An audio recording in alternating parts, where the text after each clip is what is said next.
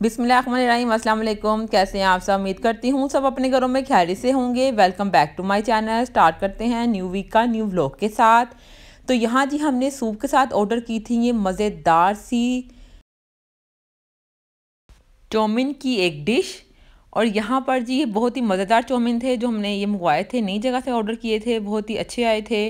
और यहाँ दी मैं सूप इंजॉय कर रही हूँ क्योंकि सर्दियाँ का मज़ा तो सूप के साथ ही आता है। और यहाँ जी मैंने सूप पी लिया है, जैसे ही मैंने अपना ये मील फिनिश किया है, मेरे पास देखें कौन आके बैठ गया है? ये जी कैंडी आके बैठी है और ये आज इसको मेरे पे बड़ा प्यार आ रहा था और आराम से मेरे पर बैठी हुई थी और मैंने उसको जब पाड़ियाँ की हैं, इसने मुझे कुछ भी नहीं कहा आगे से और बहुत ही इंजॉय कर रही थी ये मेरी पाड़ियों को भी। सर्दियों में ज़्यादातर कैट्स अंदर रहती हैं और बाहर बहुत कम जाती हैं। कैंडी इसलिए अंदर आई हुई थी क्योंकि इसने सोना था। तो साथ ही मेरी सिस्टर ने मुझे ये वाली एक डार्क चॉकलेट दी है कि ये टेस्ट करके देखें कैसी है। तो काफ़ी टेस्टी और मज़ेदार सी ये चॉकलेट थी जो मैंने इंजॉय की थी। और ये नट्स का फ्लेवर था सेंचुरी का और बहुत ही डिफरेंट मतलब डार्क चॉकलेट थी ये। और साथ ही जी नेक्स्ट डे हमने प्लान किया था ज़रा मार्केट तक जाने का। तो रास्ते में हमें कोकन बुल नज़र आ गया तो हमने कहा क्यों ना ये इंजॉय कर लें। तो ये सेवन अप की बोतल तो हम बिल्कुल भी नहीं पियेंगे। हम सिर्फ़ कोकन बुल को इन्जॉय करेंगे, लेकिन ये इनकी डील थी कि शॉर्मे के साथ वो बोटल दे रहे थे तो उन्होंने बोटल साथ ले आए थे तो लेकिन सेवन अप हमने नहीं पीनी। हम यहाँ से सिर्फ़ शॉर्मे को इन्जॉय करेंगे और बहुत ही मज़ेदार और टेस्टी इनका ये शॉर्मा है। और साथ ही जैसे ही हम घर आए हैं, घर आके जी सारे बच्चे मुझे वेलकम करते हैं, जैसा कि आप सबको पता है तो सबसे पहले देखें जी ये टिग्गी बिल्ला किस तरह, किस पोस्ट में बैठा हुआ है। ये एक्चुअली हमला करने की कोशिश करा था दूसरे बिल्ले के ऊपर, लेकिन ये लड़ाइयाँ करता तो नहीं है, लेकिन पूरा इरादे इसकी लड़ाइयों वाले ही होते हैं वैसे।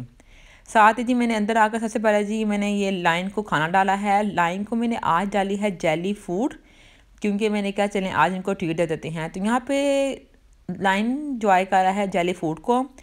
साथ ही साथ मैंने टिगी को भी बुला लिया था, लेकिन टिगी ने इतना इंटरेस्ट शो नहीं किया पहले खाने में।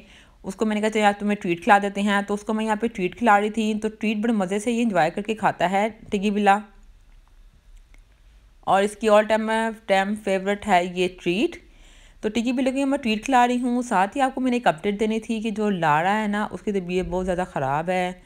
उसको मैं डॉक्टर पे भी लेके जा रही हूँ। आपने दुआ करनी है, लाड़ा की तबीयत बिल्कुल ठीक हो जाए। अब लाड़ा को क्या मसला है और डॉक्टर पे क्यों गई है वो? इसकी एक डिटेल वीडियो मैंने बनाई है आपके लिए और वो मैं जल्द ही अपने चैनल पे पोस्ट करूँगी। आप ज़रूर देखिएगा। अभी छोटे पारे अपनी इस ट्रीट को इन्जॉय कर रहे हैं। मैंने कहा, गोल्डन के पीछे रहे मैं गोल्डन को बाहर खिलाने के लिए गई हूँ, लेकिन गोल्डन का पेट बड़ा हुआ इसने इंटरेस्ट शो नहीं किया खाने में। तो मैंने कहा, चलो जी, ये वाली ट्रीट भी मैं लाइन को खिला देती हूँ। लाइन की तो मोजी हो गई। दो दो तीन तीन ट्रीटें खाई इसने माशाला से आज। तो यहाँ पर जी नेक्स्ट मॉर्निंग यहाँ पर मैं नाश्ता बना रही हूँ। ऑल टाइम फेवरेट यहाँ पर मैं स्कैम्बल्ड एग बनाऊँगी। साथ हम टोस्ट लेंगे और साथ हम मज़ेदार सी चाय को इन्जॉय करेंगे। सबको नाश्ता मैंने दे दिया था और यहाँ पर मैं अपना नाश्ता रेडी कर रही थी तो मैंने कहा आपके साथ मैं शेयर करती हूँ कि चलें जी मैंने ये गर्म गर्म चाय डाल दी है। और चाय का तो ये जो धुआँ होता है ना ये देख कर ही आपका वो कहते हैं ना क्रेविंग हम्म, आदि ख़त्म हो ही जाती है आपकी चाय की। तो यहाँ पर जी चाय मज़ेदार से रेडी हो चुकी है। अब मैं यहाँ पर नाश्ता करती हूँ। नाश्ता करने के बाद किचन में बहुत ज़्यादा काम था क्योंकि मेड हमारी ने आज नहीं आना था तो मैं यहाँ पर किचन समेट रही हूँ। जल्दी जल्दी से यहाँ पर हम सारा काम वाइंड अप करेंगे सबसे पहले तो ये एग आए हुए थे तो मैंने कहा इनको बकरी में डाल के फ्रिज में रख देती हूँ। सर्दियों में अमूमन अगर आप बायो भी रखते हैं ना एग तो ठीक रहते हैं, लेकिन मैं तो इसको डाल के ना बकेट में फ्रिज में रख देती हूँ। ये बकेट में डाल ज़रूर रही हूँ, लेकिन मैंने इसको पहले वॉश करना है। वॉश करने के बाद उसके मैंने फ्रिज में इसको रखना है, क्योंकि जब भी हम मार्केट से एग लेकर आए ना, आप एग को ज़रूर वॉश करें। वॉश करने के बाद उसको फ्रिज में रखें। तो यहाँ पर एप्पल भी पड़े हुए थे तो मैंने कहा एप्पल और ये जो एग है, इनको फ्रिज में रख देते हैं।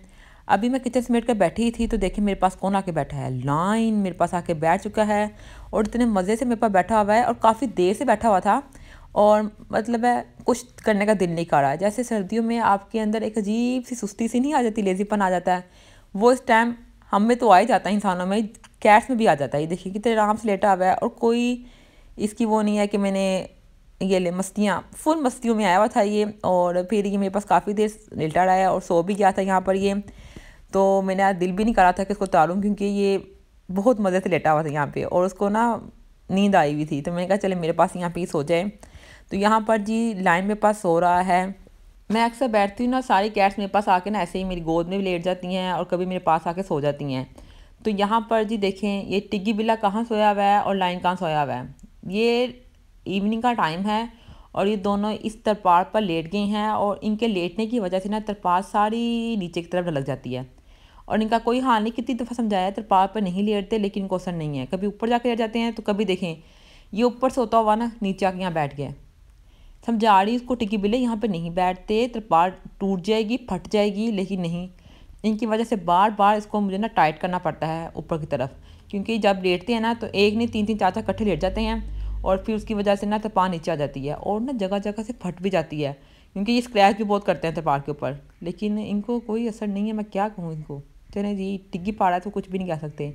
बस इसको तो बहुत ज़्यादा पाड़े कर सकते हैं, क्योंकि टिग्गी पिला है।